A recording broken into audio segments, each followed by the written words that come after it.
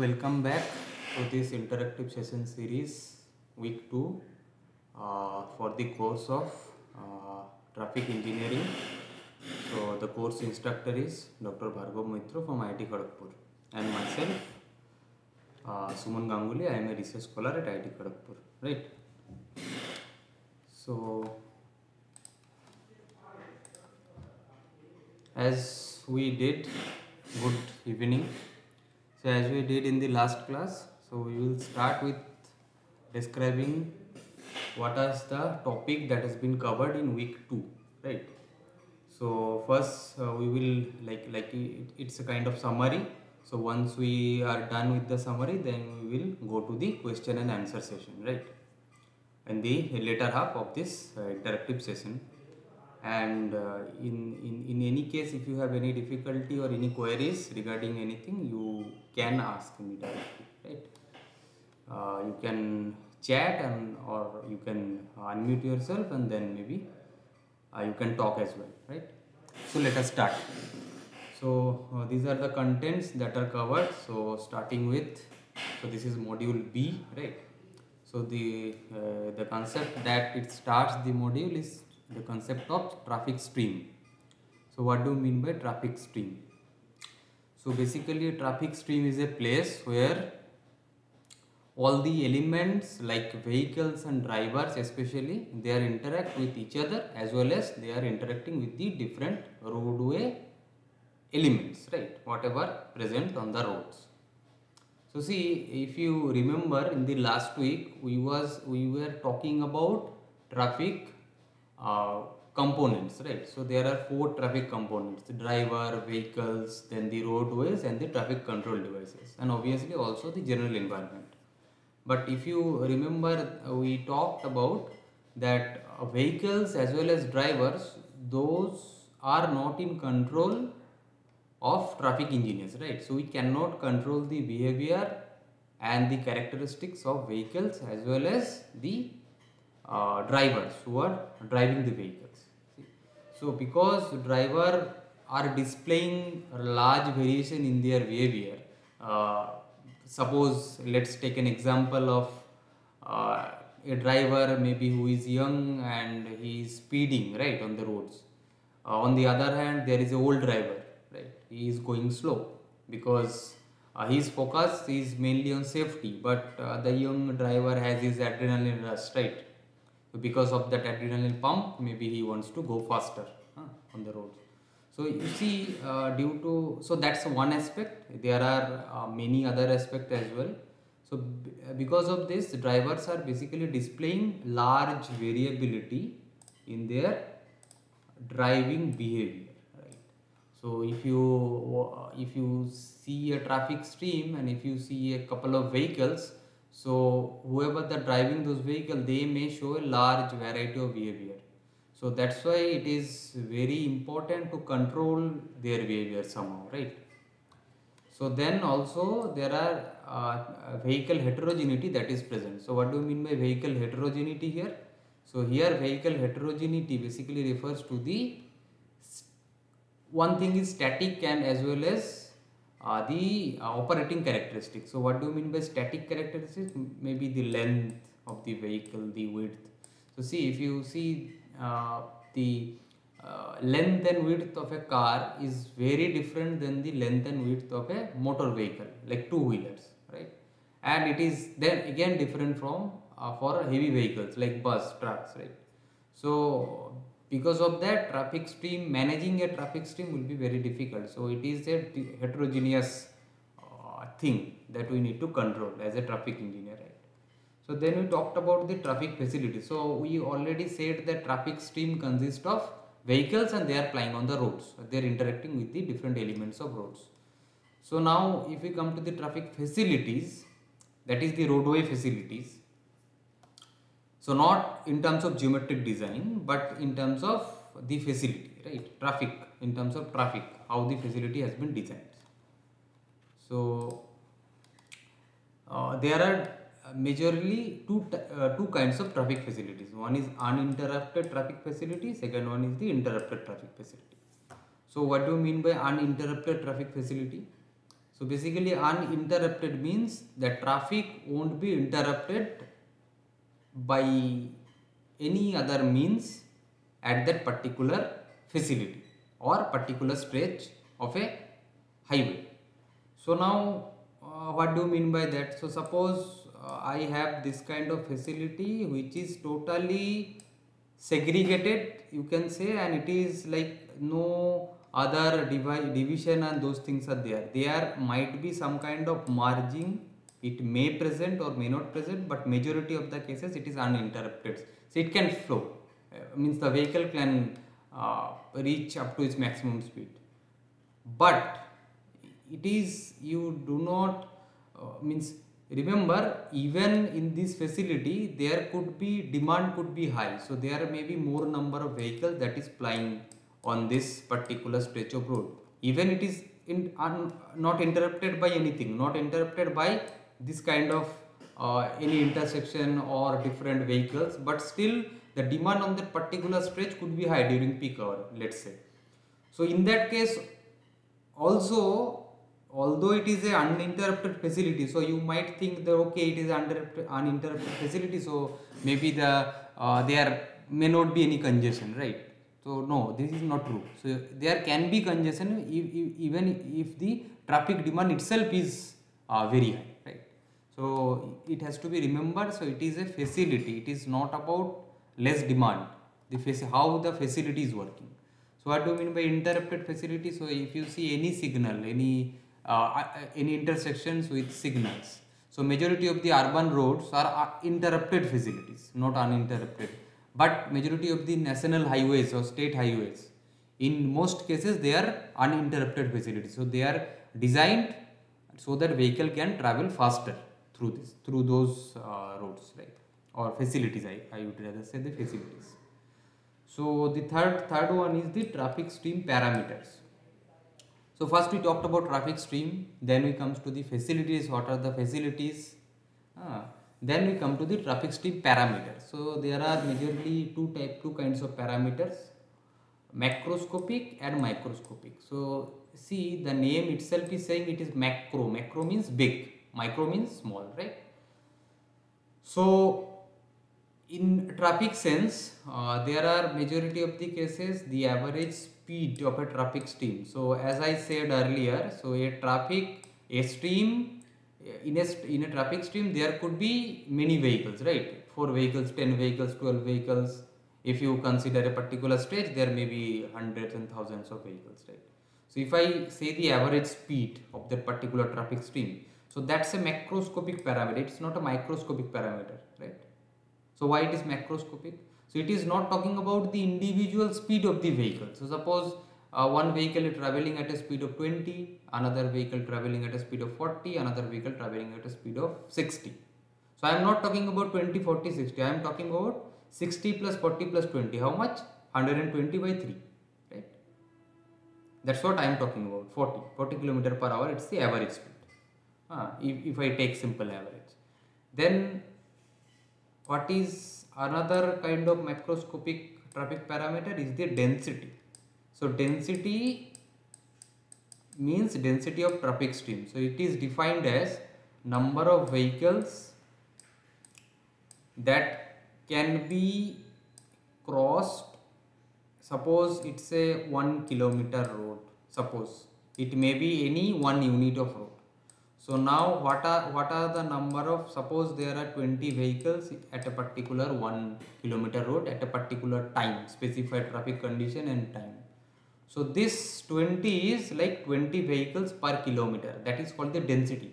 So how many uh, vehicles can be accommodated in per unit length of the road at a specified road and traffic condition. So why at a given road and traffic condition because it may vary place to place it may vary it may vary even within the place during different times it may vary right? So it is the density right? So then third parameter is flow. So what is flow? Flow means suppose this is the road so if i if i want to see that how many vehicles are crossing at a particular time i uh, suppose in one hour how many vehicles are passing through a particular point right? At a at a given specified uh, road and traffic condition. So if there are 20 vehicles or suppose 30 vehicles are passing per hour so then it is the capacity or it may be the flow right? So generally the maximum number of uh, per unit hour if the maximum number of flow has been obtained that is called the capacity for a particular stretch of road. But otherwise it is called a flow right? If it is not maximum then it is simply flow. So we have defined that micros macroscopic parameter are mainly of three types that is the speed of the traffic stream density of the traffic stream and the third one is the flow of the traffic stream right? So then let's come to the mic mic microscopic parameters microscopic traffic parameters so why it is called microscopic? Already I said it is micro means it is small or it is dealing with the individual vehicle properties or individual vehicle prior properties. So as I already said that speed of an individual uh, vehicle can be considered as a microscopic parameter right. We are not talking about the whole traffic stream what is the average speed we are saying each vehicle is traveling at what speed so that is called the microscopic parameter.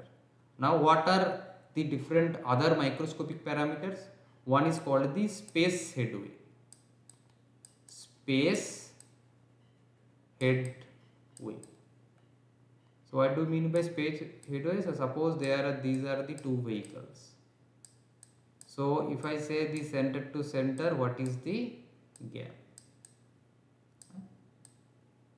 So what is the gap in terms of distance, right? So suppose vehicle is traveling and at a particular instance, time instance, we see that the gap is 30 meters, suppose between two vehicles. So that is called the space headway between those vehicles. So it is, see it is dealing with the space headway of two vehicles, right? These are the two vehicles, not the traffic stream, but the two vehicles, pair, pair, pair and it may also change right? So you could argue that uh, okay i will take the averages and i can take the averages. I can take each each pair values and i can take the averages but that doesn't make sense. Because what is makes sense that how it changes how the interaction changes as two vehicles are moving forward right? So then what is the time headway right? So time headway is nothing but the what is the elapsed time right between two vehicles. So distance headway and time headway are different things. So time headway is very sensitive. So suppose your a vehicle is traveling at a speed of 20 km per hour and then b vehicle is traveling at a uh, suppose uh, at a speed of 30 km per hour. So if b vehicle is traveling at a speed of 30 km per hour so see the time headway will constantly reduce because it is it will trying to catch up right? So it will constantly trying to it will reduce right over the period of time.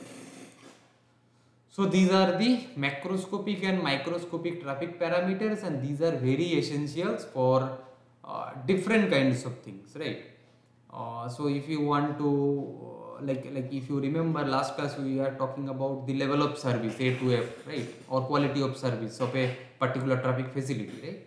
So in those case how to know that what is the how you can judge the performance. So performance you can judge using this density as well as traffic flow as well as speed sometimes right. So these are the fundamental parameters uh, based on what you can judge how your uh, particular traffic stream or particular a particular road how it is operating is it operating uh, at a good or means at a good condition or it is operating in a bad condition right? So these are very important. So then uh, then uh, here we are considering more about the macroscopic parameters first. So these macroscopic speed which is the average speed of a traffic stream so basically they are if you see there are temporal variation that exist so imagine there is a road and you see at that particular suppose you take a road of stretch of 500 meters.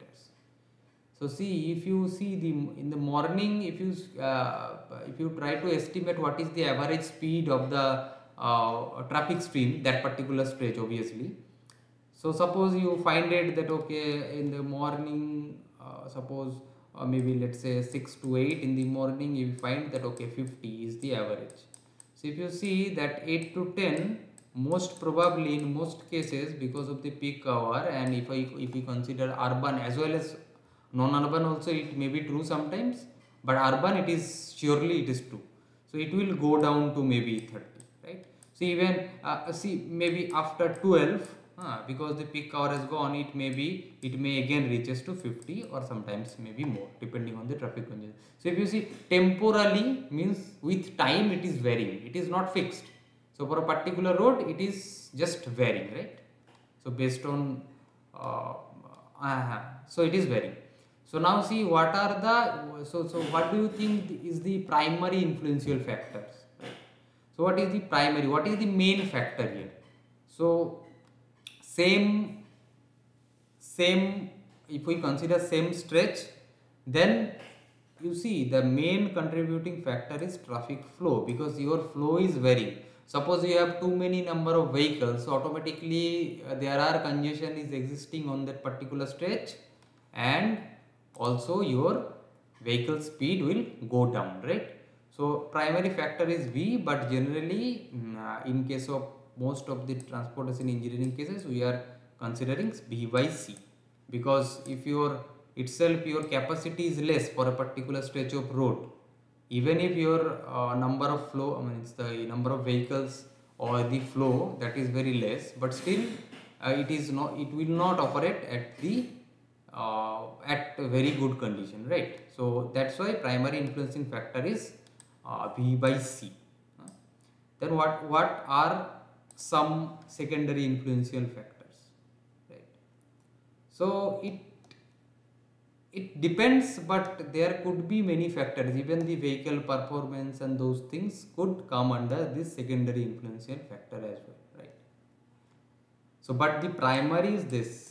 Rest of the maybe sometimes weather. So you see morning uh, weather is something different. Maybe uh, in the uh, uh, suppose uh, in the evening there is raining right? So due to the rain your vehicle speed will go down. So those kinds of things are also may influence right? But the primary and thing is v by c.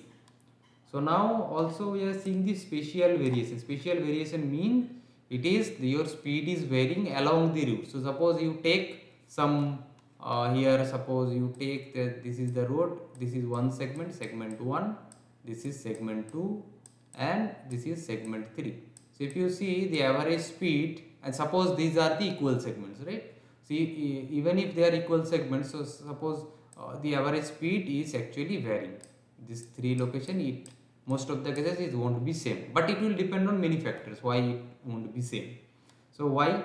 So see this is called longitudinal. That's what we are talking. We will come after we describing this we will come to the transverse as well as the directional spatial variation so why? So suppose maybe your vehicle width is less. Itself your vehicle width, uh, sorry, road width is less, right? So if your road width is less, so here suppose it is 7 meter, here it is 5 meter, here it is 6 meter. So itself your capacity of the road is less. So there will be less number of vehicles that the that the particular segment can operate, uh, can accommodate. So if it is so, then automatically your speed will go down, right? When we transition from uh, uh, this uh, road segment 1 to road segment 2 right? So this is called the longitudinal. So there could be many other factors. Like if uh, this is uh, this is this segment is having no signal and segment 2 is having some signal. So it it will incur some delay because of the signal right? So there could be many other factors as well. So now why the transverse so suppose transverse means what? Transverse means suppose there are two lanes this is lane 1 and this is lane 2 so even if your this stretch is only one this a or I can say a so this is the stretch. So if you see here the what is the speed and here what is the speed? The speeds may not be same the average speed i am talking about. So why? So sometimes you see in the urban expressways particularly there uh, there are some fast moving lane there are some slow moving lane. So because of that it may be different. Because something is fast moving and something is slow moving right? So another thing maybe uh, suppose there is a unknown driver right who comes to a particular new location. So now he don't know uh, where to go. Uh, he want to check every uh, whatever the signpost are there then he want to move forward. So automatically his speed will go down right? And there is a tendency that it will come he will be on the left lane right?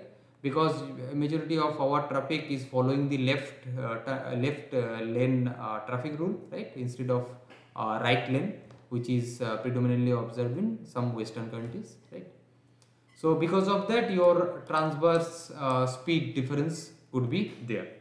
So what about the directional so as we already discussed in the previous session as well that whenever we want to go from home to our work location in the morning so that direction your traffic volume will be very high right?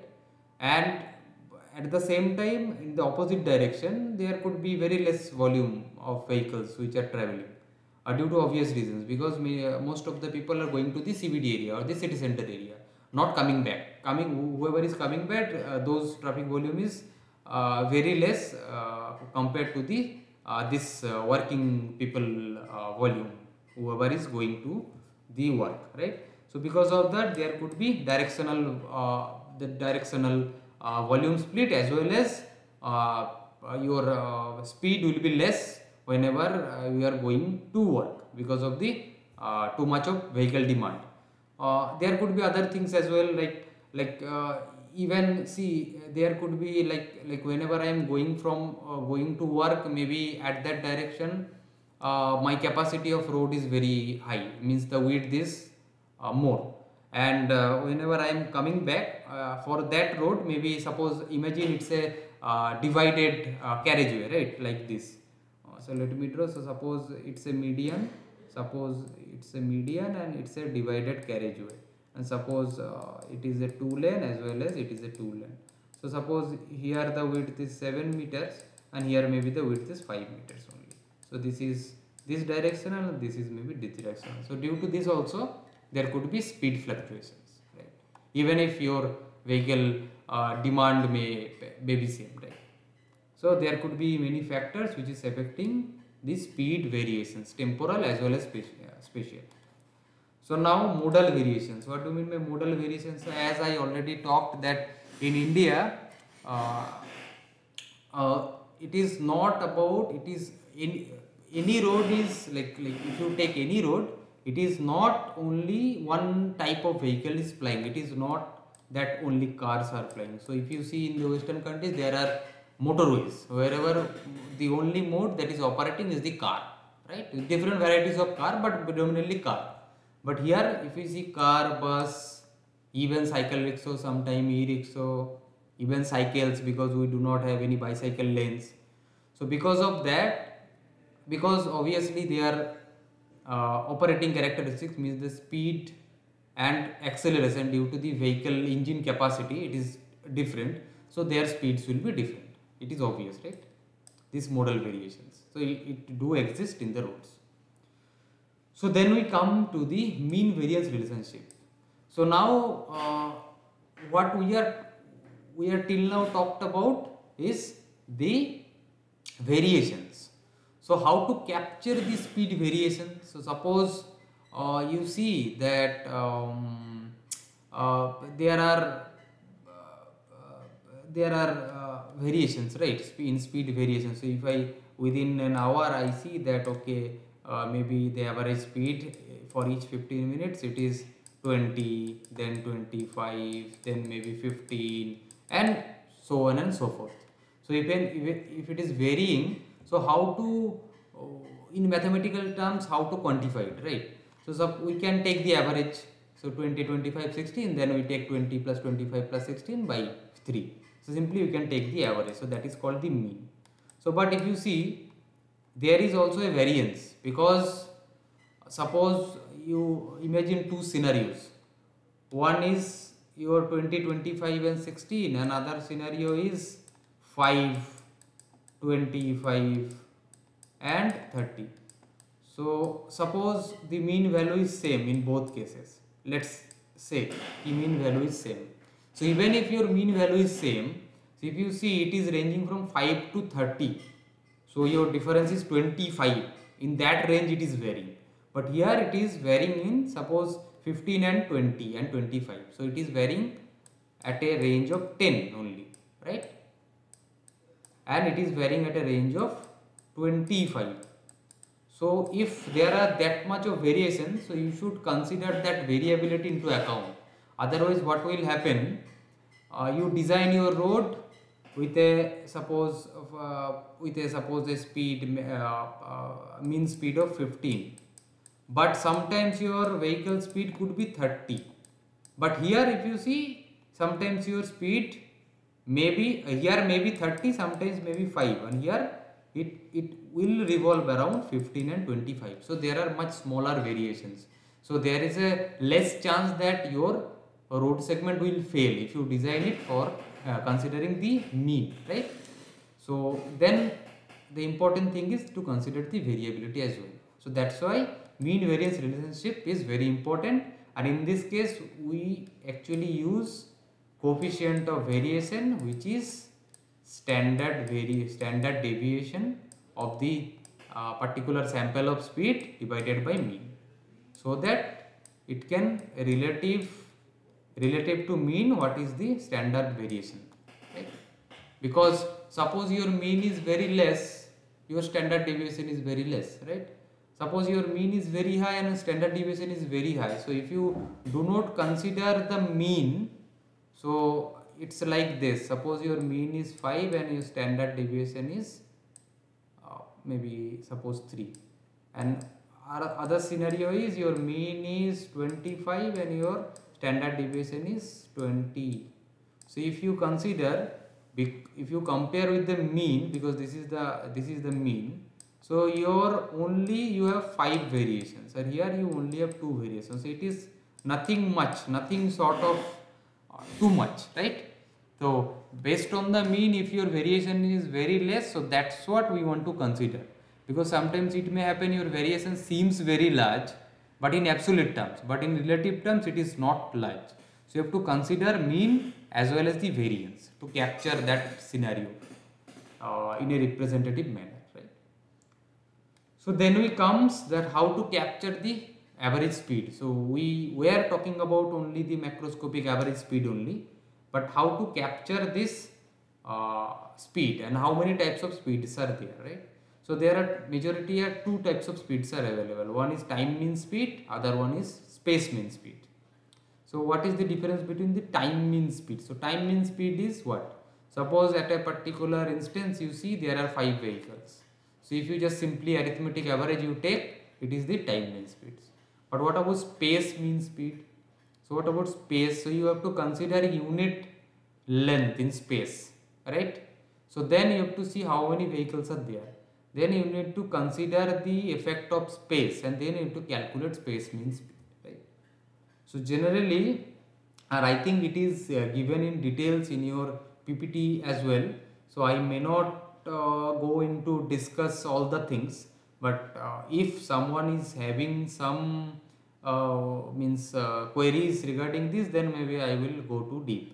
Otherwise what I can say that space mean speed is a better measure than time mean speed since it's taking account the uh, the space as well right? And also the value generally the space mean speed is generally uh, having less value than time mean speed because uh, see uh, if you remember as I already told that in a particular traffic stream so vehicles are not going or not traveling at the same speed because of the driver behavior.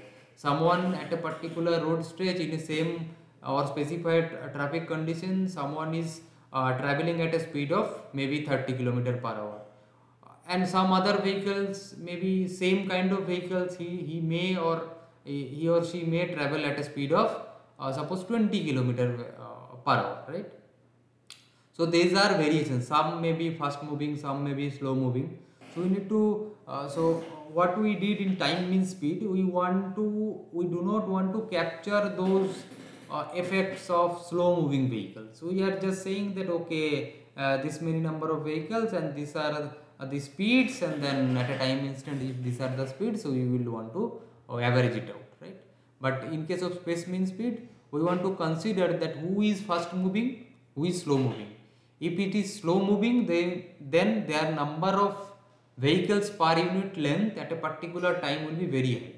Suppose there are uh, two kinds of vehicles. One is traveling at a speed of 50 km per hour, other set of vehicles are traveling at a speed of 25 km per hour.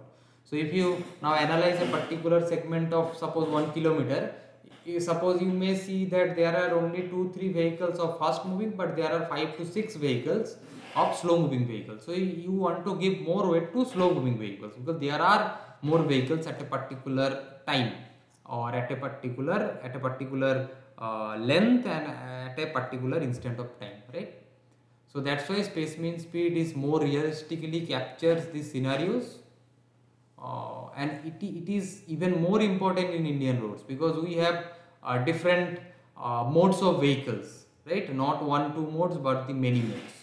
So it is even more important in our case right? So then uh, then okay. So how do you uh, how do you actually in the field how do you want to uh, take uh, measure the average speed? So you can go to the field you can use some kind of radar gun either. What is a radar gun? You just point the radar gun to the vehicle uh, by standing on the side of the road and radar gun will reflect his uh, radar gun will uh, reflect his frequency and it will come back right? So it is actually working on the uh, principle of doppler effect. So based on that we can actually measure that okay this vehicle is traveling at a approximate speed of 50 kilometer per hour right?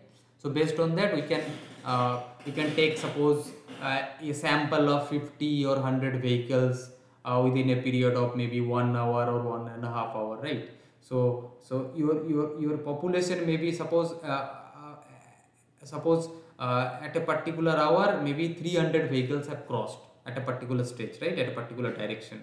So but maybe you are able to capture only 100 vehicles. So 300 is called the population. That the total population of vehicles which are traveling at a particular stretch but 100 is the sample size that you have collected right?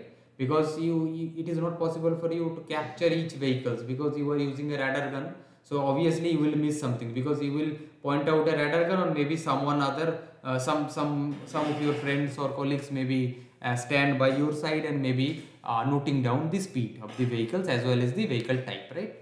So that is called the sample of that uh, of that uh, particular uh, means the sample size right? So then suppose uh, suppose uh, uh, how do you uh, suppose you uh, now you conducted survey at three but three different locations right? Even in the same location during different times of the day. So now you want to know that are those uh, average sp speeds at the different three periods suppose 8 to 9 9 to 10 9 10 to 11 there are three three periods right? Time periods. So are they significantly different? So uh, do you want to know that okay is it that 9 to 10 the due to the peak hour it is uh, very less and then it is uh, because if you directly take the average one value right? Suppose you are taken only one value. So uh, you cannot use any statistical measure to test it. That suppose it may happen that uh, that average may get influenced by some slower vehicles or some, sometimes some faster vehicles. So you want some more samples right? So even uh, for that 8 to 9 time period you want to take suppose 5 days you have conducted survey. First day second day third day fourth day and fifth day. So based on that you you you got a sample size right of 8 to 9 then 9 to 10 you got the sample size of these 5 days. Then for 10 to 11 you also got the sample size of uh, those 5 days right? So based on that now you want to check statistically that how your is it that your means as well as the variances are significantly different? Because if they are significantly different then you can you can say that okay uh, maybe uh, suppose you can make these decisions like uh, maybe at that particular instance because these are significantly different and the average and uh, that coefficient of variation value is very high. So maybe uh, you want to check that if signal is causing the problem or if the demand is very high. So how to reduce that demand at the particular time period because otherwise uh, there would be congestion on roads right? So maybe you want to check right? Or maybe you want to develop some kind of simulation model. So if you want to develop some kind of simulation model maybe you want to check uh, that how those uh, mean and variances are there and you want to put it right? Either either if it is not significantly different you want to combine those uh, time periods or if it is not you may not want to combine those time periods. You may want to uh, see that each hour uh, what is the performance of traffic suppose? What is the level of service of that particular road? At at which time period it is very bad and at which time period it is very good and why right so this kind of analysis you may want to do suppose.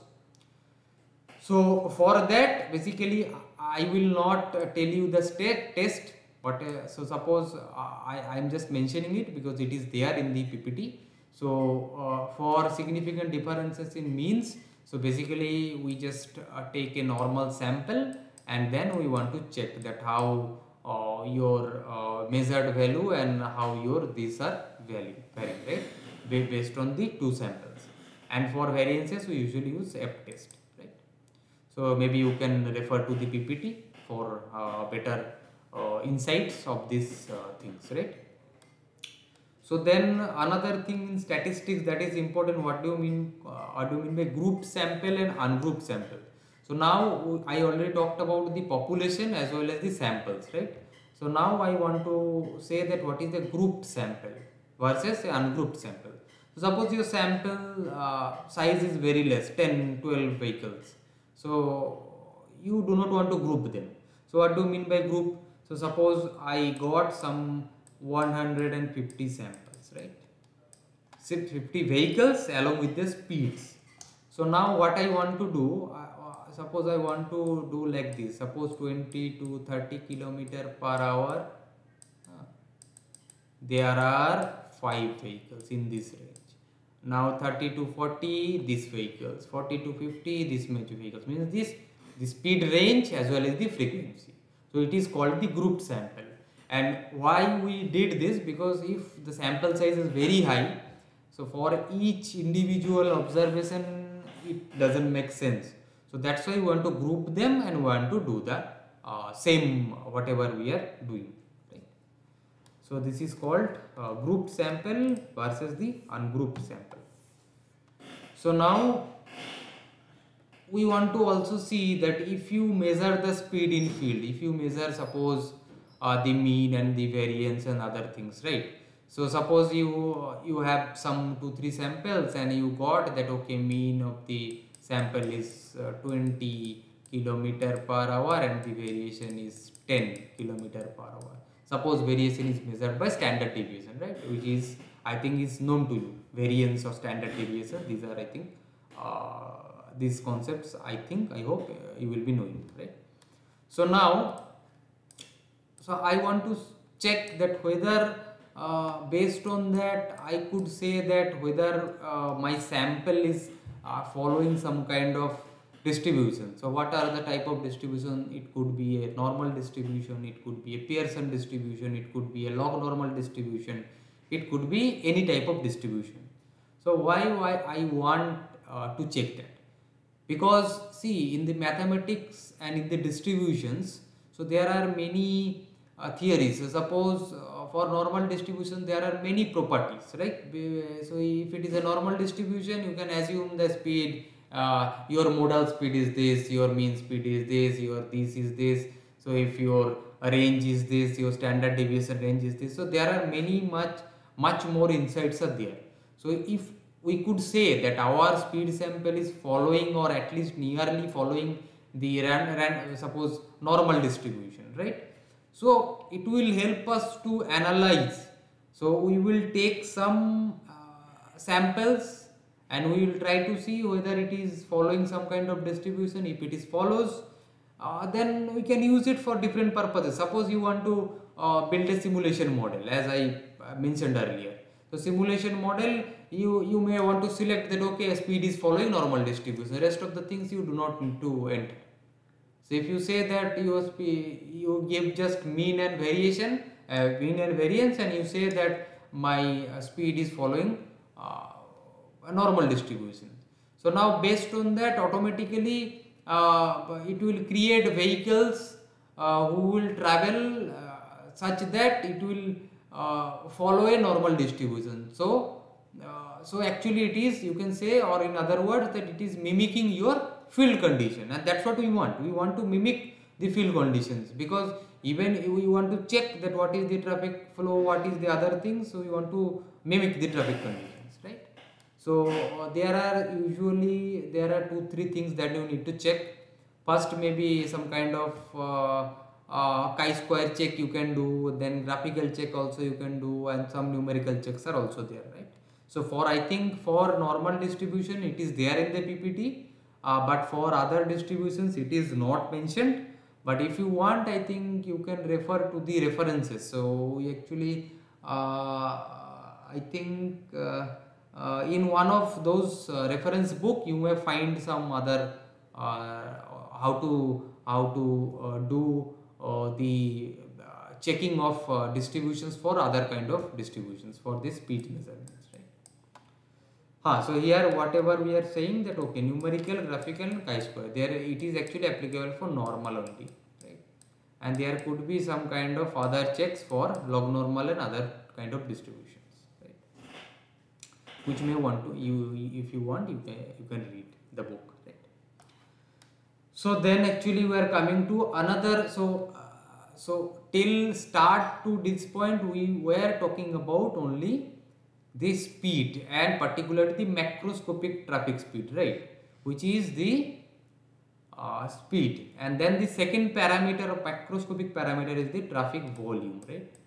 Because uh, for a facility suppose traffic volume is 2000 so it's a macroscopic parameter. It is not saying uh, not a like it is not a property of microscopic anything right it is a overall at a particular uh, uh, particular stretch uh, this many vehicles are present or facility this many vehicles are traveling that is called the traffic volume right so uh, traffic volume can be expressed in many terms. First is annual average daily traffic. So basically what happens because uh, there are fluctuations in monthly like this suppose January, February, March there are fluctuations as well as summer and winter right. So winter you see generally our traffic is generally higher. So because so if, if you go to the field at a particular season, suppose summer, and you take some two three days of data, so actually it might not represent those variations because you are uh, you are just capturing this average, but the same uh, so so if the same facility uh, may uh, may encountered more traffic during the winter so whatever you design the road for, suppose you want to uh, you want to uh, decide the road uh, thickness, right? Not thickness, sorry, road width, right? Geometric features. So based on the that how many maximum traffic volume are uh, passing through the road. So if you do this uh, traffic survey in summer, then it will surely fail in winter. So you will see the uh, traffic congestion and those things are happening. So your design is not rational basically right? So you want to see that how these are uh, actually you have to account for the winter traffic as well right? As well as different months so best so for that we are just using AADT that is called annual average daily traffic right? So it is just an average. So if you take 365 days throughout data and if you want to average it out then whatever the volume is uh, that can be that you can say that that is my volume. So now one thing uh, that you can ask that uh, so you are uh, talking about not maximum traffic you are talking about the average traffic. So see so maximum traffic it may occur but in most of the cases it may not be present on the roads. So if we are doing uh, designing a road for that so we might actually over assess our uh, traffic and we might end up uh, putting more money for building a road which is actually not required at that particular time right so that's why we just take the average right in most of the cases. Or maybe sometimes median. Not the average but the median value. So then annual average weekday traffic. So see there is a variation in weekday and weekend right? This is weekday and this is weekends. So why? Because saturday sunday we do not actually see much traffic. So we see this weekday pattern.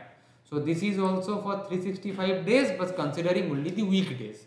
Sometimes it is also uh, good to take the weekday traffic because uh, it might give you some rational results because it is only uh, considering the weekday traffic where your traffic volume tends to be high right?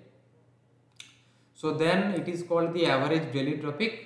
So so in spite of the importance of ADT in most of the times we end up calculating this ADT instead of ADT why? Because it may not be feasible. Because see for the traffic volume either you need to establish some traffic control points throughout the year. Otherwise you need to install camera and monitor it throughout the year. So both of those things are uh, means uh, it is not sometimes feasible and it is very difficult and maybe we need to spend lots of money for getting this that thing only right so what we usually do, we will take, we will do the survey for 5 or 7 days in a particular season and we will calculate the average daily traffic that is called the ADT.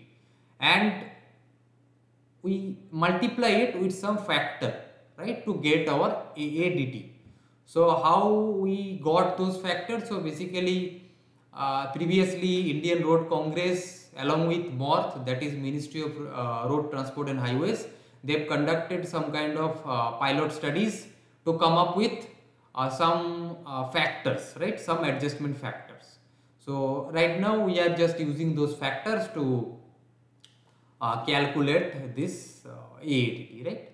So our work is less because we already have a factor and it is fairly representative right? So then this is same thing is the annual weekday traffic. It is only considering considering the weekdays, not the weekends, right? For the similar purpose. So the, we have talked about the entire 24 hour volume. Right now, uh, till now, what we talked about is the 24 hour traffic volume. So after that, we are talking about the hourly volumes. See, even if you plot a 24 hour volume like this, 0th hour, 1th hour, 2 and dot dot dot. Uh, 24 it will see you will see some kind of fluctuations right? Uh, so hourly fluctuations are there and you will see maybe some evening peak or sometimes some morning some one hour peak will be there due to obvious reasons because we are all traveling to work right? So it is essential to consider those hourly volumes so suppose you, uh, you want to design a road considering ADT which is a 24 hour measures and you use some kind of adjustment factor to come up with ADT. Now you see during the peak hour your or your design service volume or your capacity is not sufficient because you you consider the whole traffic volume and you took the average so it is less but at certain point it is very high in either in the morning or in the evening so because of that you want to actually see that what is that peak at least right. So then only you will uh, you can do a rational design so that your uh, uh, your uh, traffic your uh, capacity of road is sufficient to accommodate the uh, increase in travel demand during the peak hours. Hmm. So this is a factor to capture that it is called the directional uh, directional what? Directional hourly volume? Hmm. so how you calculate this? We want to use ADT which is ADT into some kind of factor right? Adjustment factor from IRC or MoRTH based on the latest guidelines. And then uh, this is considering some directional factor as well as some peak hour factor. So K is called the peak hour factor. Peak hour factor means means it is considering that uh, what is the peak right? Because we want to capture. So some factor right? That we have to capture. And directional means for a particular direction also as I have said that for basically for morning peak or evening peak we won't find that morning peak as well as evening peak is occurring on the same direction. In most of the cases it will occur at the opposite direction right? Like if morning you will find in the in one direction in the evening you will find in another direction right? So that's why this kd k cross d into aadt that will give you directional uh, design uh, basically uh, directional design hourly volume which generally we use for designing of road right? Finally that we actually use. So now uh, we now talked about the hourly volume. So suppose this is the hourly volume for one hour and this is 15 minutes 15 minutes 15 minutes and so on 15 minutes right? So it's a 2 hour 1 2 3 4 suppose 4 interval are there 4 into 15 minutes is peak hour. Suppose evening peak hour we are talking about. So suppose this is 60 minutes. So we actually capture this right? DDHV in DDHV we capture this. But we did not see that even in this we are seeing a peak. So now for that 15 minutes particular this 15 minutes your uh, congestion will be very high. And because once the congested situation starts actually it propagates. So uh, so if you remember if you uh, i don't know i think it is there in your third module that how uh, congestion and queuing propagates in the next module which is shocking shock and queuing even for a small disturbance small period of time disturb if the disturbance happens it actually after 2 hours also sometimes its effects is there its effect is present. So because of that we cannot uh, we cannot uh, neglect this uh, this 15 minutes peak now you can say similarly that for the 15 minutes also we may found we, we can say that uh, during each minute it is varying uh, absolutely true. If you uh, if you can have some kind of fine-tuned devices and if you want to capture it you will see that actually whatever i am saying or you are visualizing it's true. But generally based on the previous research studies what we found that generally less than 15 minutes the traffic volume less than 15 minutes it is not too much of varying. It is varying in a particular range it is not too much. The variation is very less or it is within a range. It is statistically not different. It is statistically almost same. So because 15 minutes is the statistically stable stable time period so generally most of the cases say whatever in traffic engineers do they are using 15 minutes traffic volume for design purposes right? So for that we want to use peak hour factor right it's a factor. So suppose your v60 that is your peak hour suppose this ddhv in peak hour v is this. So how to capture this ph peak hour factor?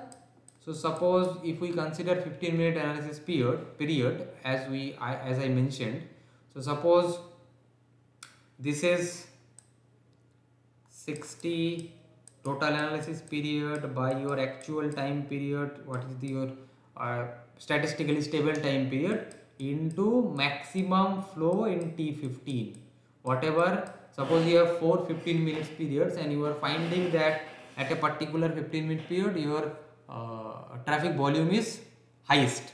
So take that traffic volume and this basically 4 4 into t15 T15 max I can say it is max and it is also V60 max. So it is called your peak hour factor right. So now this V60 was previously DDHV equal to DDHV. Now your DDHV is what? 4 into T15 into P PHB. That is your new uh, DDHV right?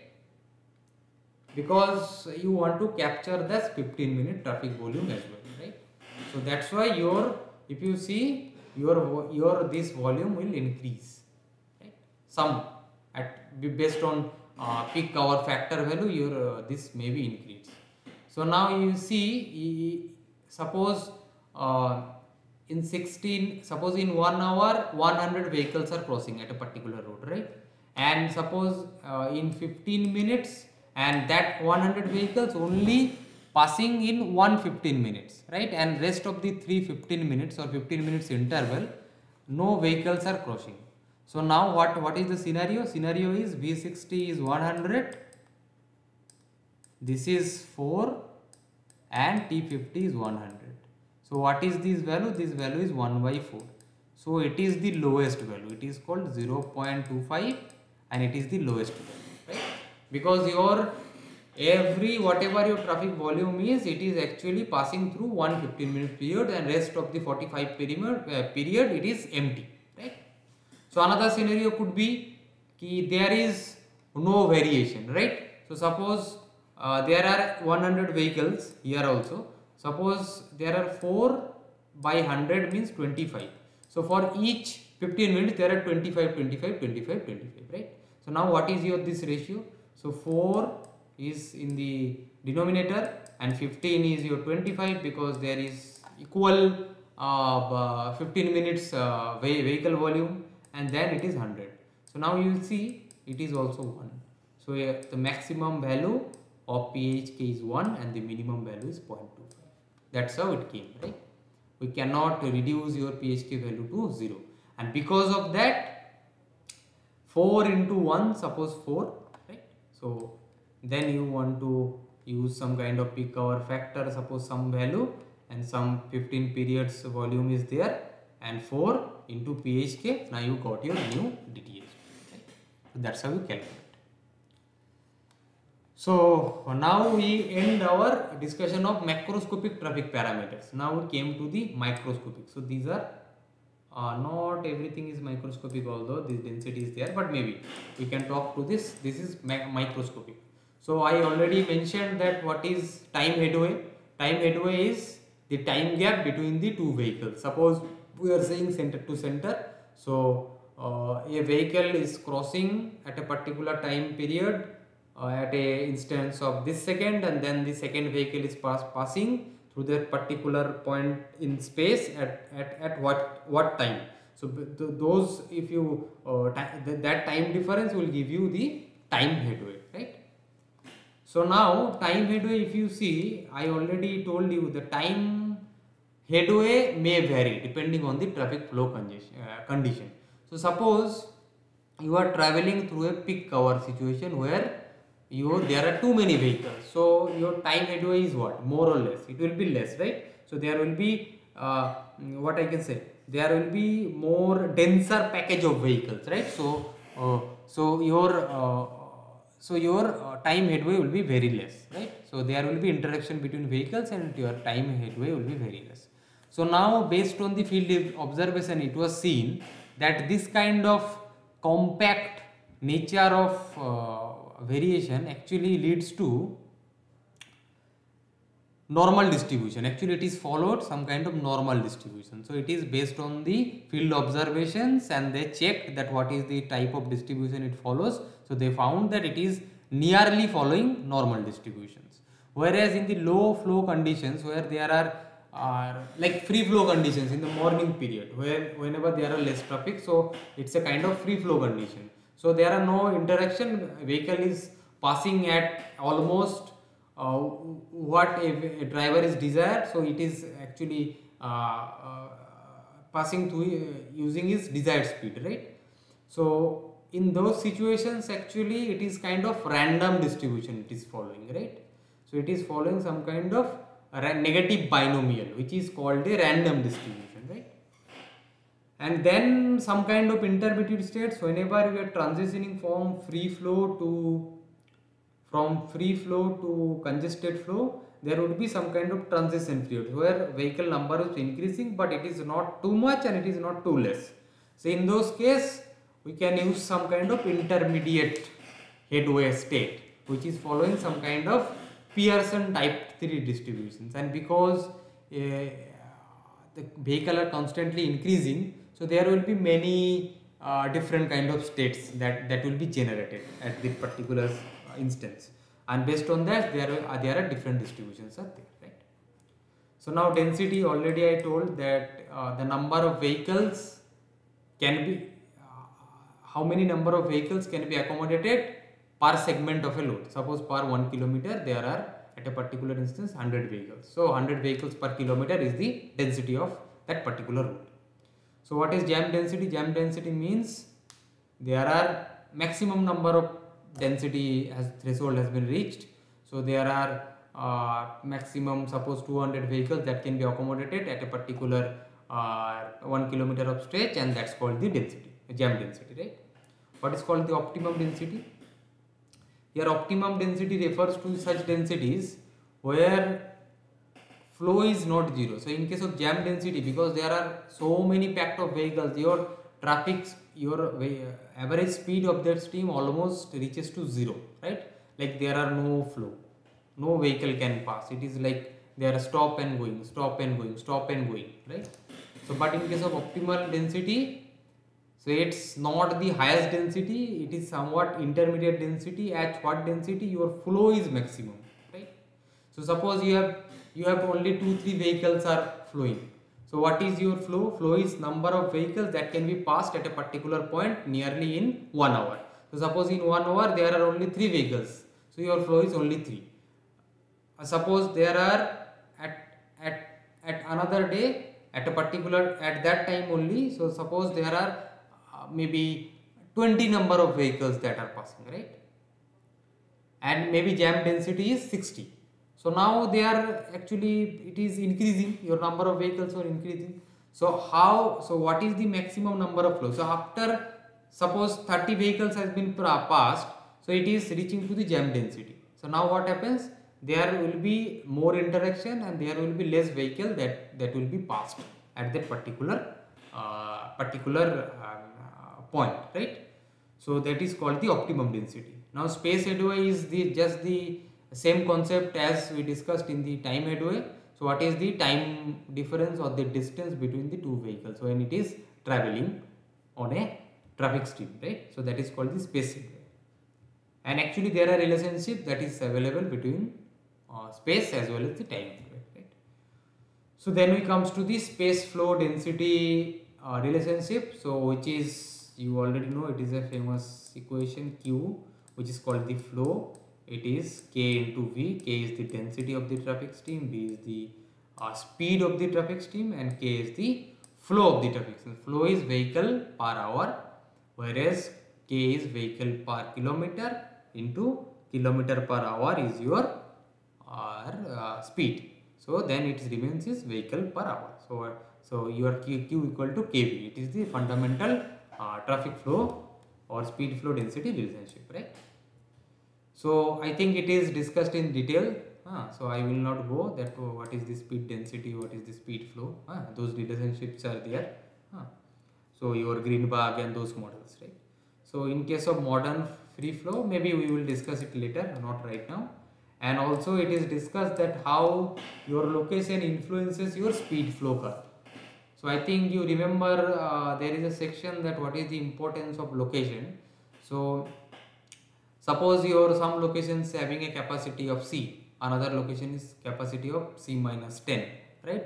So now if the same traffic demand is is there in both of these roads, so actually their behavior or speed flow behavior or speed flow curve will change because the capacity is less. In one case it is less, one case it is slightly more, right?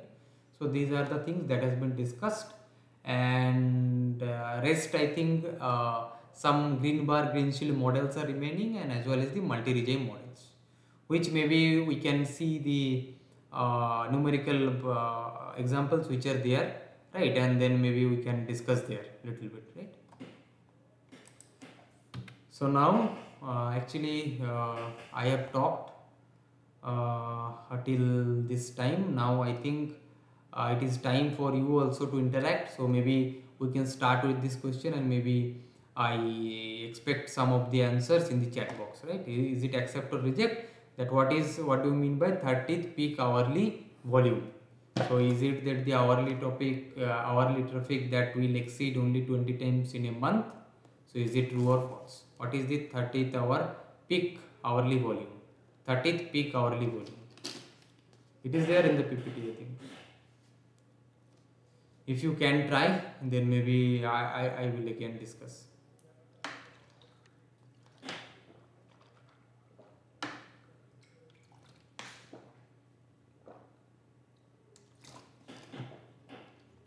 You try you try it.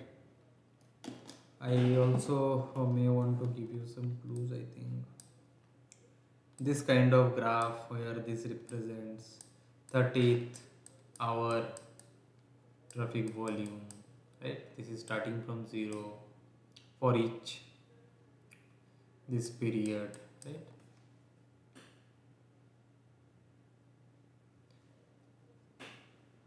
So what do you mean by 30th peak hourly volume is that hourly traffic that will exceeds only 20 times not in a month but at a calendar year so it's like that that this traffic it only exists uh, actually sorry actually this is not the correct graph the correct graph is this rather right?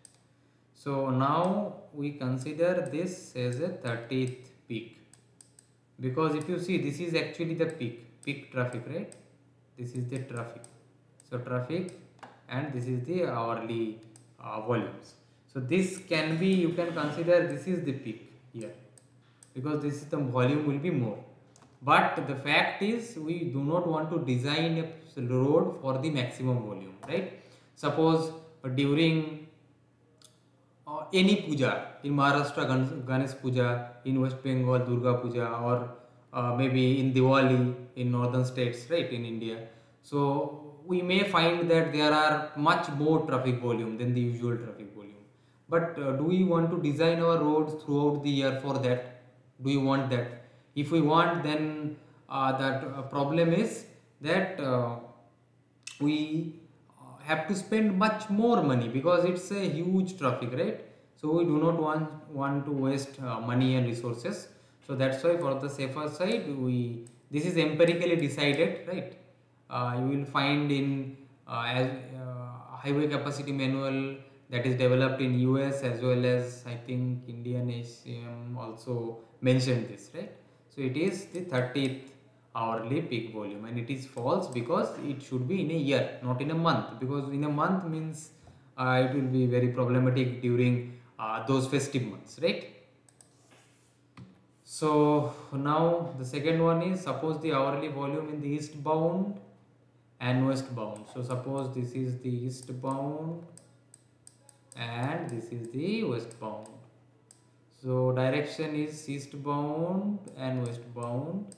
East bound is 1700 west bound is 2600 so estimate the directional split factor in the peak direction. So this is the same d which we if you remember ddhv equal to d into k into AADT right? So I told you this is the directional factor and this is the uh, for that peak that is the factor and this is the AADT right? Uh, this is the AADT so now this this is the D.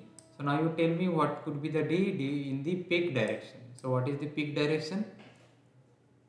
So this I want some at least answers because it is very straightforward what is the peak direction tell me in the chat box what is the peak direction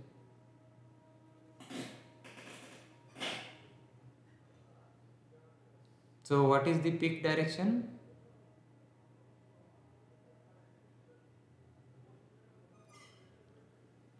I want some answers at least. Whoever is there, Abhishek, Khanam, Mohammed. Which is the peak direction? So there are east and west and traffic volumes are there. So we want to estimate the directional split in the peak direction.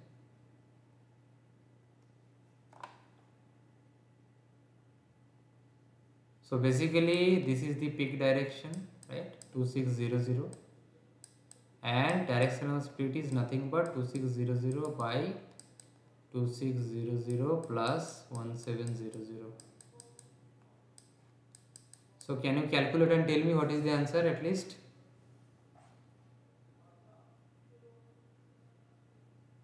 Am i not audible?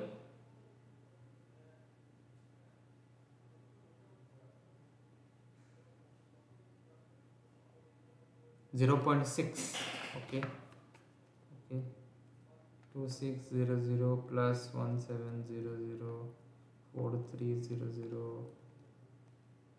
1700 4300 4300 so what is it is 0.6 yes it is 0.6 indeed. 0 0.604 like that. Okay. So we will move to the next one. So accept reject again. Time headway is directly proportional to the stream velocity. So time headway. So we know the relationship is Q equal to density into speed of the vehicle, right, or velocity of the vehicle. So now we want to see what is the relationship between time headway and stream velocity, right. So this is vehicle per hour, right so if this is vehicle per hour that means suppose in 360 seconds which is 1 hour and suppose the time headway is uh, suppose suppose your time headway is t. Time headway means two vehicles what is the time distance? So suppose it is t in seconds right? And so total one hour if your time headway is uh, this t seconds between two vehicles. So how many number of vehicles uh, that will cross at a particular time?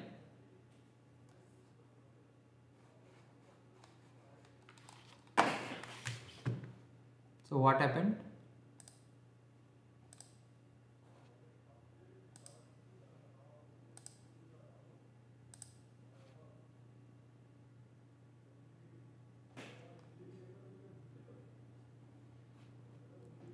So am I audible or do I have some internet connectivity issues? Can you just say that am I audible or not? Okay, okay, thank you. So, uh, so in one hour, so how many vehicles will be passing, right? So the vehicles will cross is time headway is t and 3600 by t, right? So it is equal to k into your stream velocity. So now you tell me what is the relationship between time headway and uh, your uh, stream velocity. Is it true or false? Now tell me. I have done everything for you. Now tell me.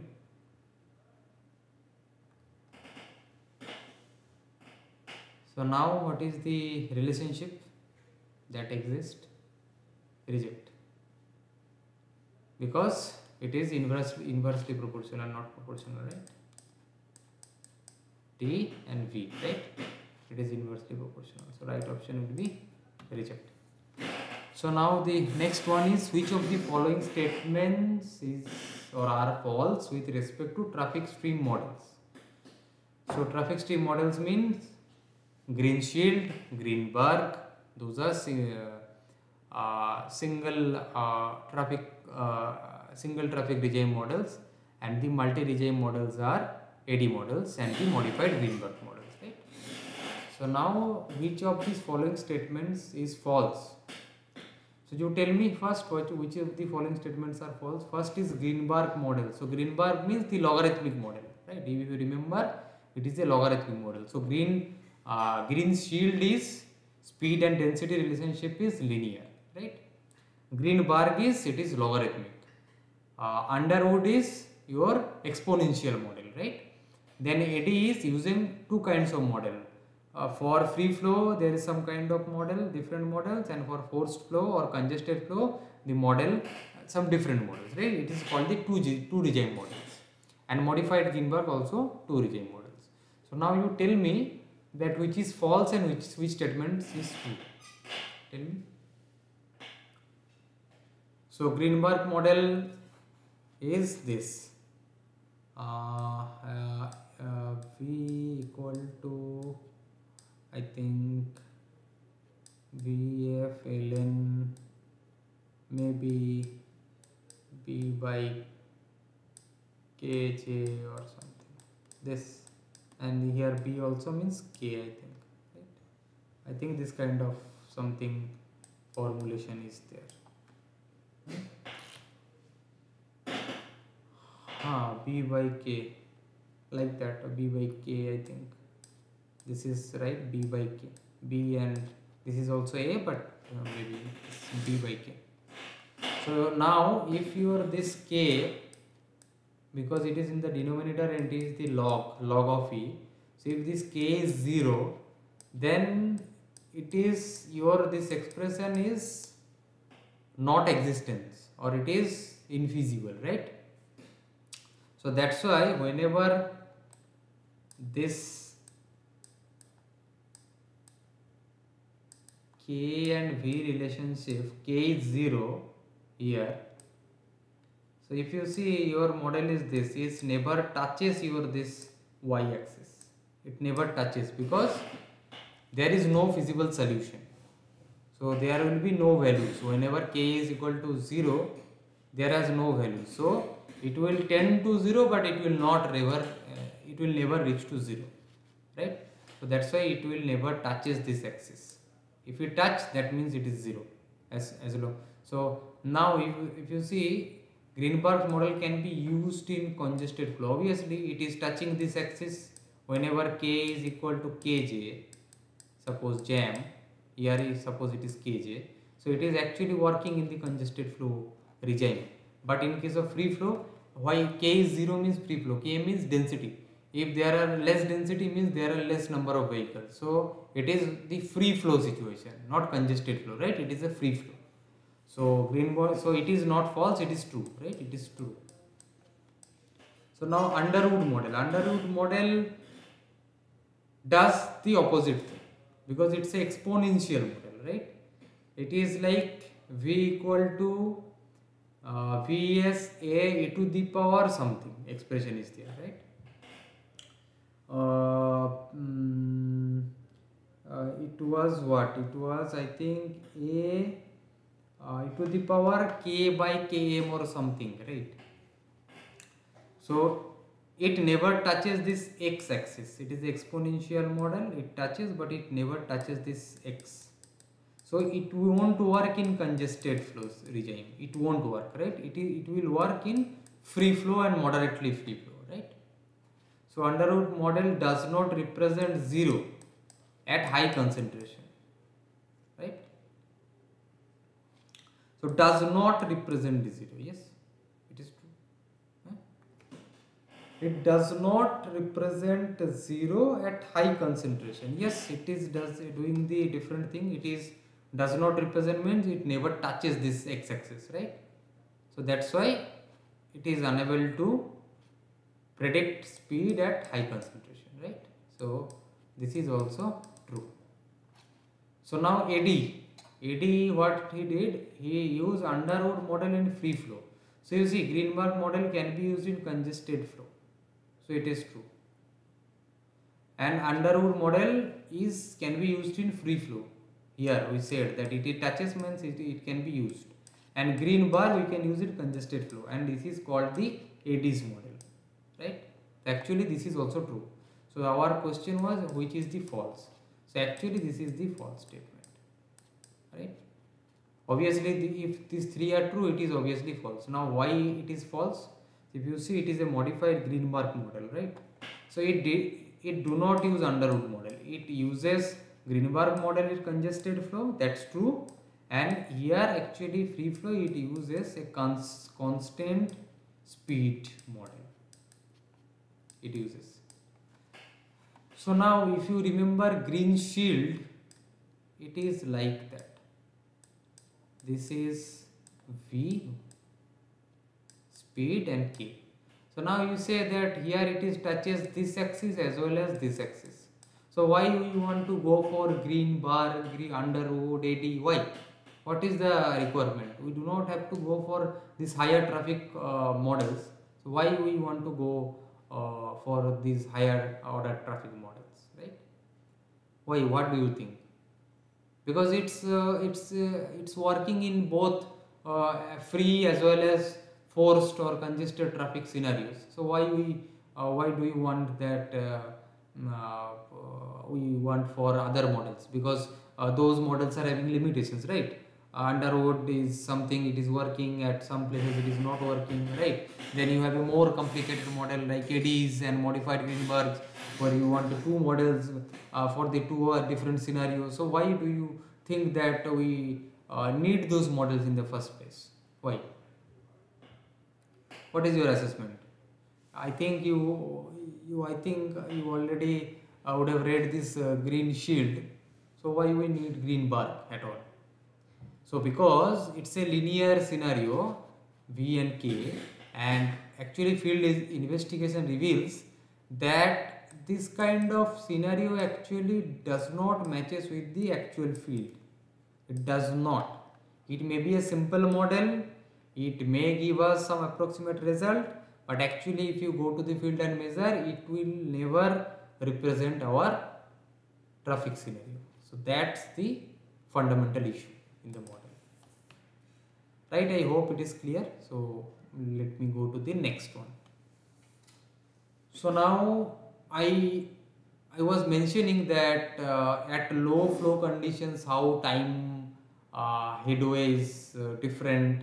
Uh, it is measuring by some kind of negative exponential, then the gamma, then the normal, right? So now what here it is showing that you have to match this with this, right? So what is the correct negative exponential is for which headway state means time headway states. If you uh, clarifying, it is a time headway state, right? Uh, yes, time headway. It is mentioned here. So time headway states. So can you uh, can, can you say that how it is matching?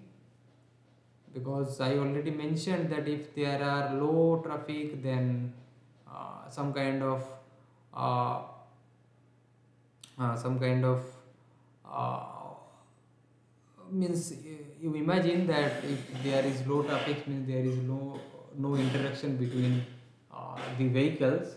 So it is a kind of random scenario. You can imagine it's a random scenario right?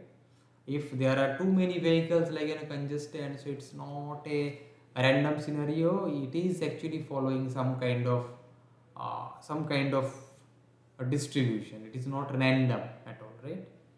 And then intermediate I told that there are many distributions which falls under Pearson type 3 distributions which is mentioned in the PPT. Uh, so uh, can I expect some answers from you? So 1C2A, okay, 1 gamma is C, you are saying, you are saying this and you are saying 2 is A.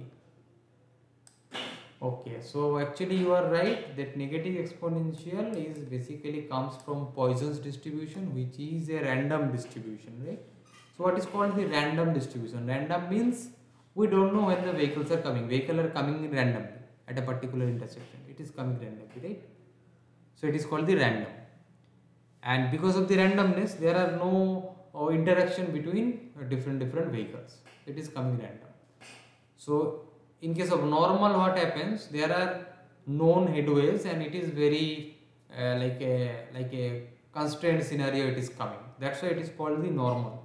And normal is basically constant right? Constant headway states. Because if there are too many vehicles so you imagine uh, almost uh, the headways uh, are constant almost. It's not entirely constant but it is almost constant.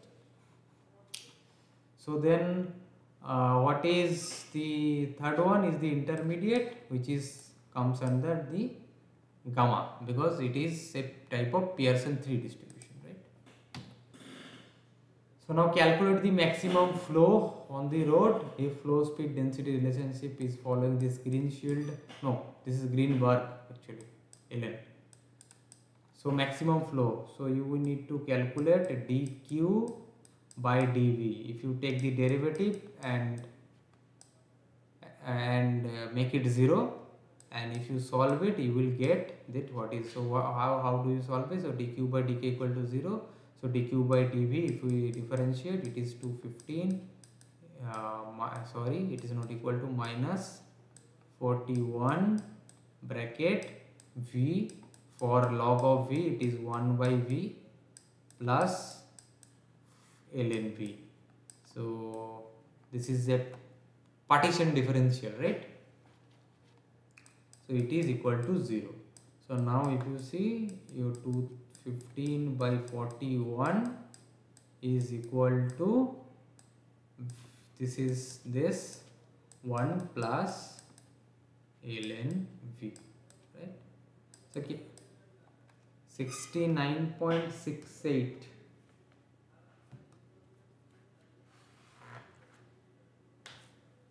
maybe I don't know I need to see then wait. Let me calculate.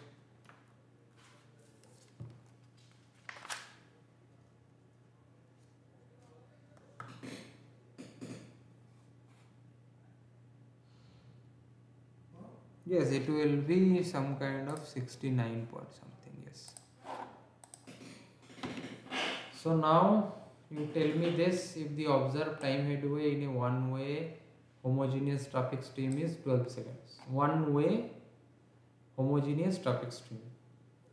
Then which of the following describes the relationship between space mean speed and distance headway? Tell me. Space mean speed, you have to start it from q equal to kv for obvious, right? But time headway means 36 double zero by 12 12 is time headway. It is called the q. Number of vehicles are passing uh, uh, in a one hour right?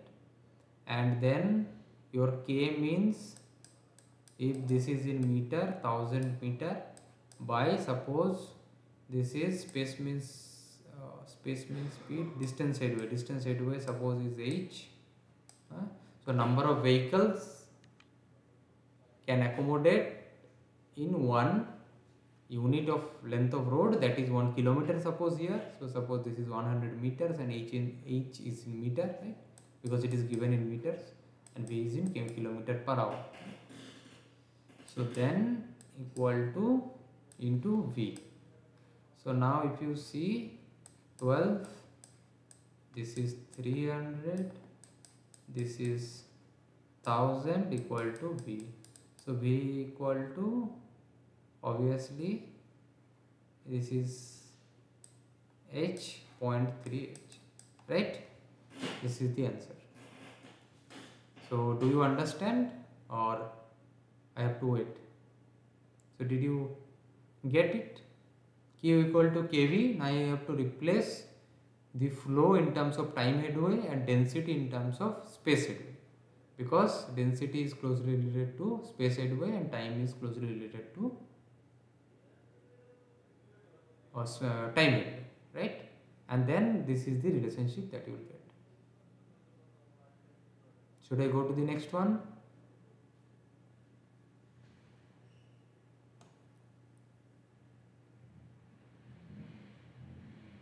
Okay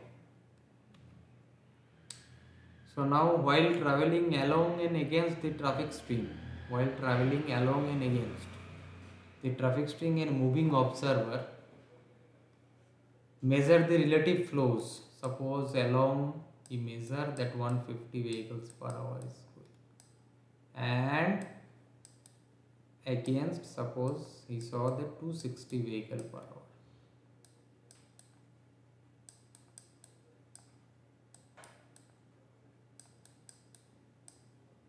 The average speed of the moving observer while traveling along and against is 40 kilometer per hour and 50 kilometer per hour. What is the density of the traffic stream? So we know that q equal to k into v. Here we are saying that relative flows so if we are saying that a moving observer measured relative flows means in terms of relative relative velocity we have to consider. So this could be relative velocity. So now in first case our q is along the traffic stream moving observer is along. So moving observer is traveling along the traffic stream. So that's why our k is not given k is this into our velocity was 40 but it will be v minus 40 because it is the same direction our vehicles are move, traveling right? So if the stream velocity is v then v minus 40 because relative velocity is 40 in the same direction not on the opposite direction. Whereas yes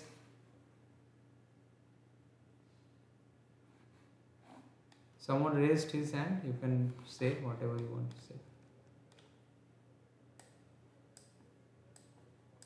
So then for against it will be same density it will be same v but it will be plus 50 because it is traveling on the opposite. So if you remember the uh, relative velocities if you travel on this opposite side so it will add up right and in the in the same side it will just subtract so now uh, can you solve it and tell me what is the answer? You can solve these two equations. I have written two equations and so solve it. So 15 by 26 equal to b minus 40 by b plus 50 so then 15 into b means 15v plus 15 into 50 equal to 26v minus 40 into 26 so then 26 minus 15 means 11v equal to 15 into 50 plus 40 into 26 so what is this value? 15 into 50 plus 40 into 26 so it is coming out 1790 and then it will divided by 11 so it will come 162.72 which is your velocity but we want what we want? We want density not velocity. This is 162 point something. Ah, this is velocity. Now what is the density? So now we can use this k so now we know the v v minus 40 so what we can do? V minus 40 is 122 so k is 150 by 122 so then it will be 1.22 so your density will be 1.2 so is it clear and you raised a hand. Mustaq Alam, do you want to say something? Yes, tell me. Tell me.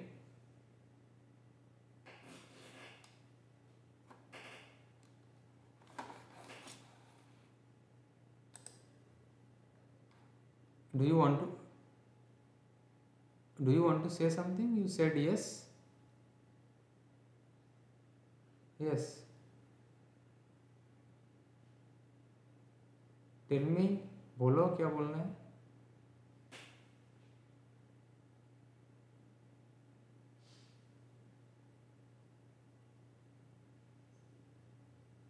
Okay ठीक है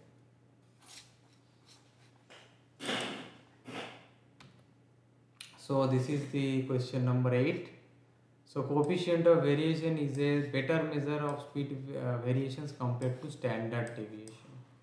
So this actually i have already discussed so i can expect some answer from abhishek mohammed and all even mustaq. Coefficient of variation which is cv okay abhishek told that true. Why it is true because it may happen that for two different sample sizes our standard deviation may be close right? But their mean may be different. So if that is so so there is a chance that it will may lead to error. So suppose your mean value is 15 here your mean value is 75 here mean speed. But your standard deviation is 5 and 5 so if I use this to measure variations we don't know because here speed is very high speed is very low so it is very poor scenario but we may not be able to capture if we only consider the standard deviation so we want to see what is the coefficient of variation so the next one is theoretical speed flow curve. So what is speed flow curve? Let, let us draw the speed flow curve. So it is speed, it is flow, so it is speed flow curve, right? Theoretical speed flow curve. So it's same for two locations having the same traffic demand but different capacity. Tell me. It is saying that for two locations having the traffic demand is same but the different capacity is different. It is same. Is it true or false? Capacity is different.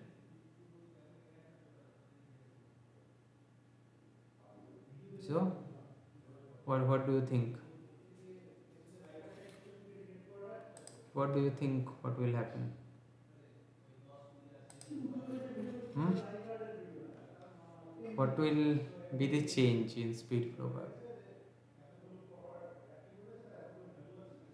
False Vm will be more or more capacity.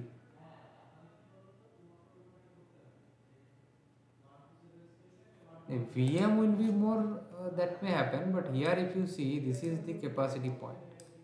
This Q is called the capacity. At this Q it reaches the capacity based on this theoretical curve right at this speed.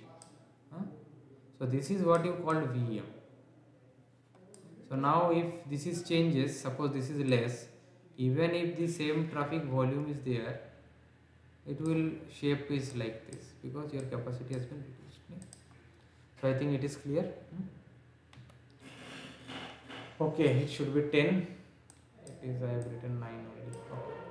So which of the following statement is false regarding peak hour period considering standard 15 minute analysis period? This actually I discussed previously that how that V60 by 4 into V15 right. So I hope that you will be able to say that what is false. Tell me. Tell me which is which of these options is false. theoretical PHF cannot be greater than 1. When there is no variation in flow within the hour, maximum theoretical uh, PHF can be achieved. If the entire volume occurs in a single interval, then the minimum theoretical PHF could be achieved. Tell me. Theoretical minimum PHF value can be 0. Which, which, of, which of this statement is false?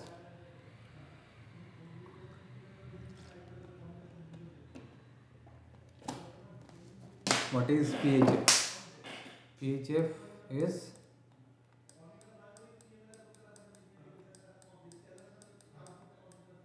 this is V60 max in peak hour this is for 15 minutes this is 4 into V15 max. Within that 60 what is the 15 minutes right? So now PA cannot be greater than 1 okay. So this volume this volume can it be greater than this volume? In no circumstances it will be more than this volume because it is the 1 hour volume and within that there is a 15 minute period. So maximum volume will be there in the 16 minute periods. So if this is these two things so it will be more than this in any time. And maximum what will happen? That it will be equal right? This can be equal to this. So in that case it will be 1 by 4 so it cannot be greater than 1 right? It cannot. So if when there is no variation of flow right? No variation in flow. So what do you mean by no variation in flow? Means for each 15 minutes there are 4 15 minutes. Each 15 minutes suppose there are 200 vehicles suppose. And total vehicle is 800 in the hour. So 4 into 2 is 800 upper is 200 800 then your PHF is 1 so maximum theoretical pH value is 1 which can be achieved. And it should not be greater than 1 because this volume is anyway this volume cannot be greater than this right? So now if the entire volume occurs in single period so for three different I mean, suppose for one 15 minute interval the total uh, volume is happening. One means for one hour suppose the volume is 2000 and it is only occurring at a particular 15 minutes right? So for rest of the 45 minutes there is no volume. Suppose it may happen theoretically. So the lowest value is 1 by 4 and it is the minimum theoretical pH right? so theoretical pH value can be 0 it cannot be 0 this is the minimum value. It cannot be greater than 1 right? So this is the false statement because here it is saying that which of the following statement is false. Considering obviously 15 minute analysis period. So for today this is from my side. So if anyone is having any doubts or queries regarding anything course content or the questions you are free. You can feel free feel to ask. You can feel free to ask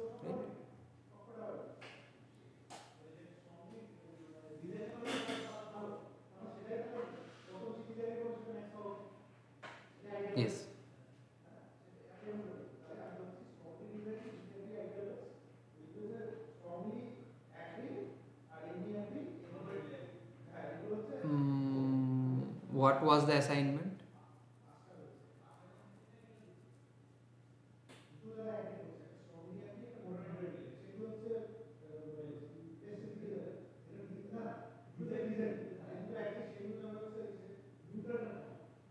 Now tell me the other other other uh, options as well.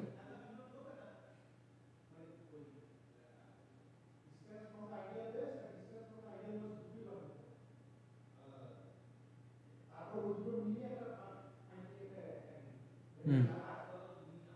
So if this is a false statement and you choose that statement, then only they will deduct the mark. So did you? So what was your answer?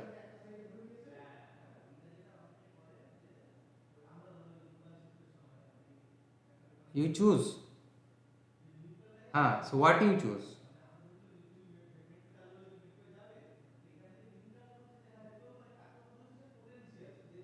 Hmm, hmm, hmm, hmm, hmm.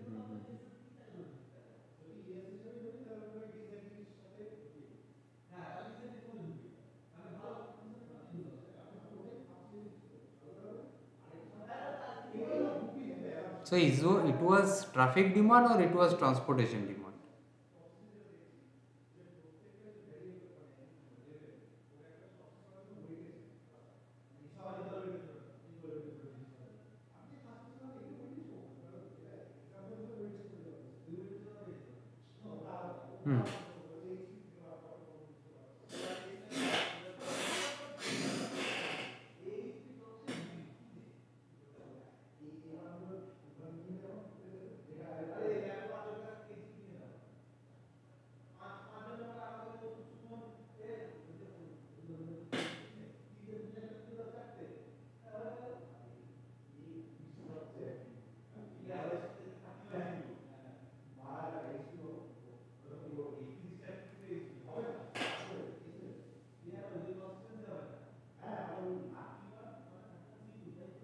Which of the following is false? So your D, so first was what? First one was effective movements of good, that is true. Then second one,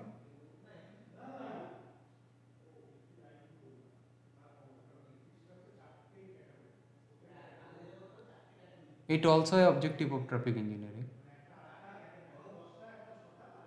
No, it's true. Tell me, tell me.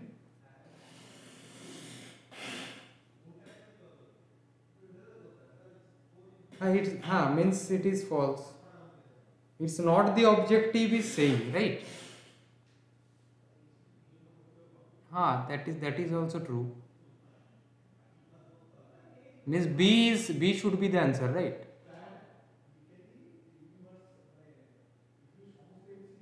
That is true. Ah, that is true. Ah, so B B should be the answer.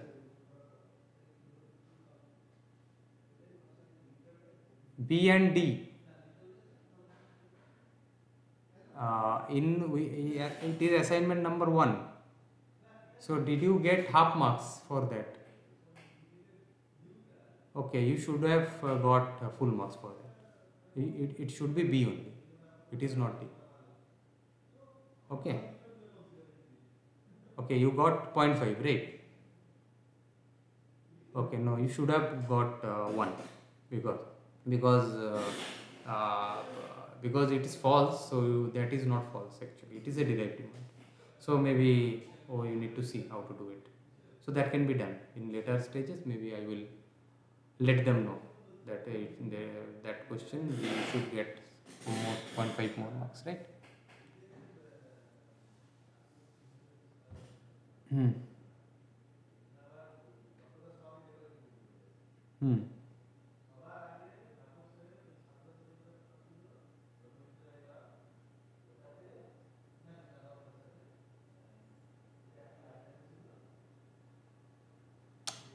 No, no, no, no. That is a separate thing. You confused. So land use and transportation cycle is a different thing. Suppose, uh, suppose uh, there is a land use and there are some kind of transportation system that is already available there, right?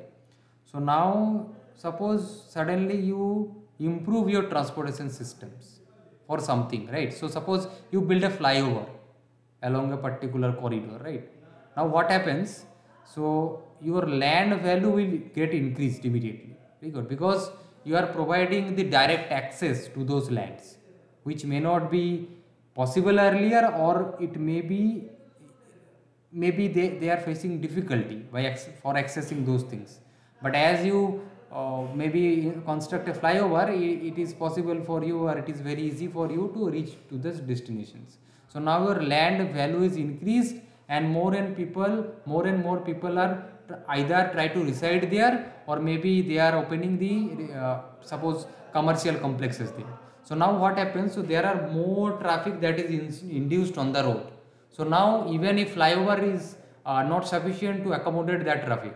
So now you may maybe want to uh, build another flyover or you may want to some, do something else. So you need more transportation facilities. So your land use changes your transportation requirement changes immediately. So that's what that means. And here what we meant by transportation demand is a derived demand is that suppose you want to travel today right? For suppose school or suppose going for college or suppose going to work. So why you want to travel actually? For reaching to school or for study or for doing something else right? It is not that you are uh, traveling for the purpose of traveling. In most cases even if it is a leisure activity you want to go somewhere and enjoy. So that that is the purpose for your traveling right? So it is not a direct demand it's a derived demand right? So transportation demand is not for like you in most cases you will not see people are saying that no i am just roaming i am just roaming. It is not for but even if you are just roaming maybe you are roaming for relaxation so you can imagine so it is a derived demand it's not a direct demand. You want to go to work that's why you want to go for place a to b that's why you need to travel. So that is called the transportation demand right? So in that way it is a derived demand. I think you got the idea yes.